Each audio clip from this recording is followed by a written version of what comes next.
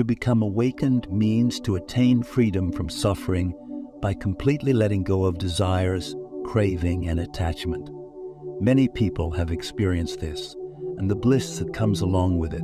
It may only last for a few seconds at a time, but by maintaining a mindfulness meditation practice and living compassionately, this state can become more and more prolonged. And after years of practice, it may eventually become your regular state of being. The contradiction here is that if we act with the desire of becoming awakened, we are standing in our own way because what we really need to do is to let go of our desires. If you find yourself getting caught up in your own desires or attachments, focusing on service to others is a good way to quickly let go of them. This is why bringing together mindful awareness and compassionate living helps to set us on the right path. So, what's standing in our way? We all have an ego or sense of individual self. This can be a helpful tool for navigating the world we live in. But the trouble is that it has a tendency to take over, and we can become slaves to our own desires and attachment. The ego is always looking out for its own interests, and therefore we can spend a lot of our time worrying about the future or obsessing over and defending our own thoughts. When we live in this state, we feel anxiety, depression, and many other negative states of mind. There is a constant underlying feeling of dissatisfaction. A sense of spirituality can help the ego to dissolve, allowing us to find lasting peace.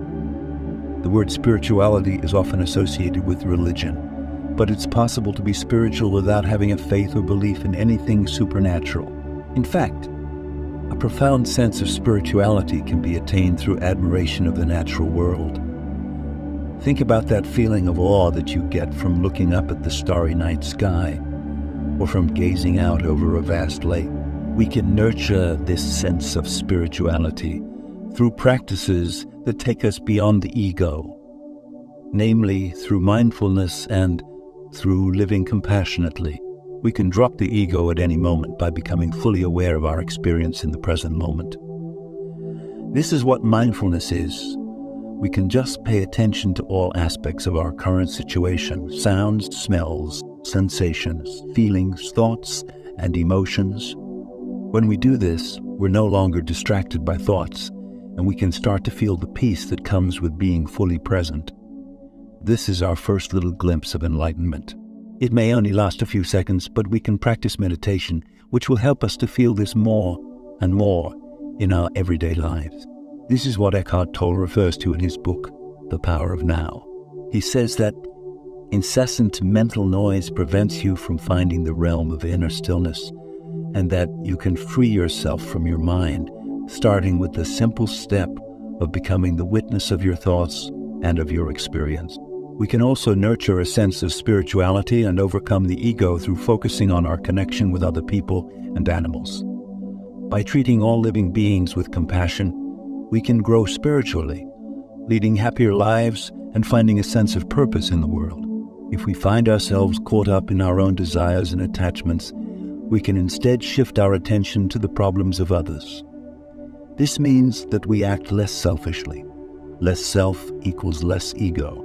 We can implement compassionate living into our everyday lives by always choosing the option of least suffering.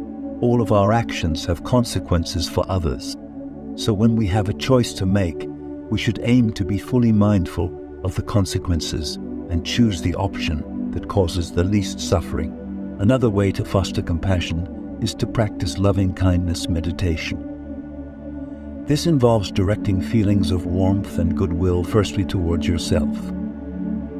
As RuPaul would say, if you can't love yourself, how in the hell you gonna love somebody else?